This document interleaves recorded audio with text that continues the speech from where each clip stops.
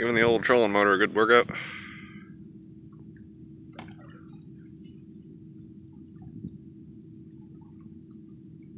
Lock it in the forward position.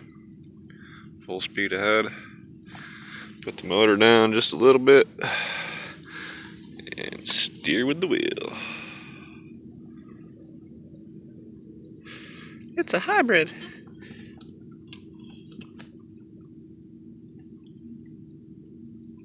It's kind of cool. Just creep back down the river. See if you can sneak up on some things. There's some folk.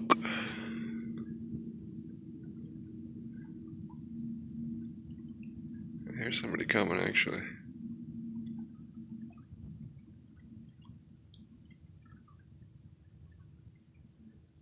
Maybe that's on the main channel. I'm getting pretty close to the river. Couple more turns, we're back on the St. John's. This is still Wekiva.